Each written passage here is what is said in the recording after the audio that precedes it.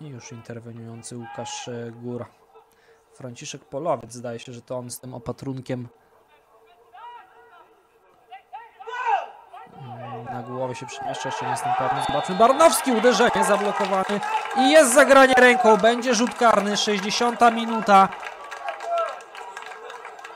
Strzał Barnowskiego.